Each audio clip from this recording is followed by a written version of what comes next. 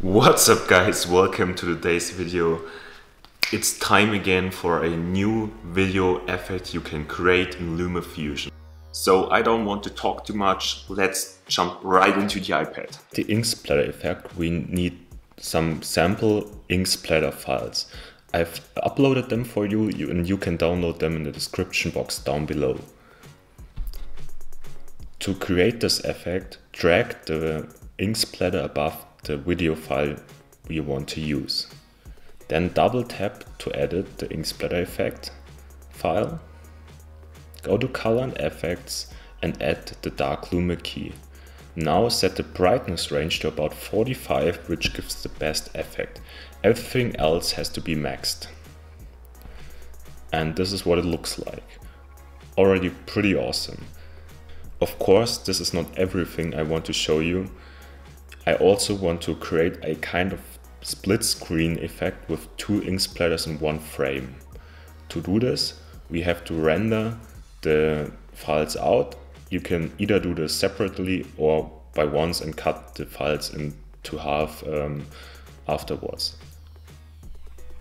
So render them out in 4K in the highest possible settings to get the best possible quality. I've already done this, so let's delete the original files. Now add a title layer, double tap to edit,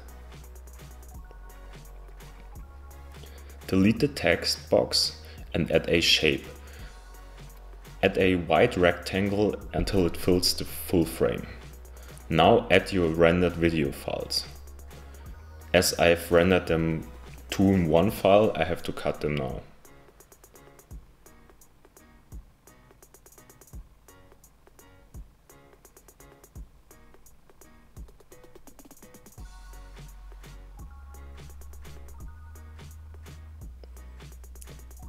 Now drag the first file above the title layer. Double tap to edit.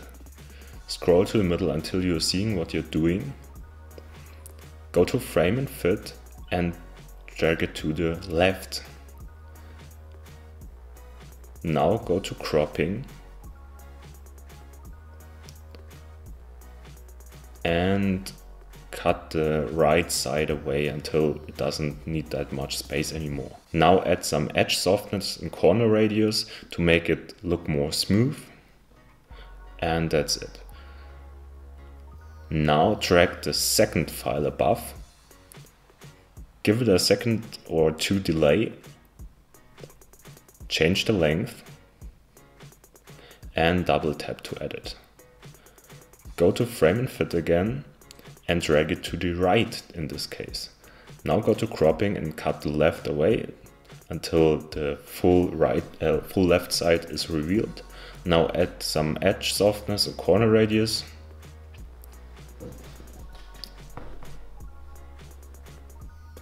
And that's pretty much it. What you have now is a pretty cool split screen effect with ink splatters. I think that effect is pretty unique. I hope you guys like the splattered ink effect. I know it's not perfect, but I think if you use it in a video, you won't use it too much and the viewer won't notice the artifacts um, between the, the white and the colorful parts. So I think that's still a nice effect you can definitely use if you want to have a special effect and I would recommend it. And of course, don't forget to subscribe to my channel and give thumbs up and we'll see each other next time guys. Bye.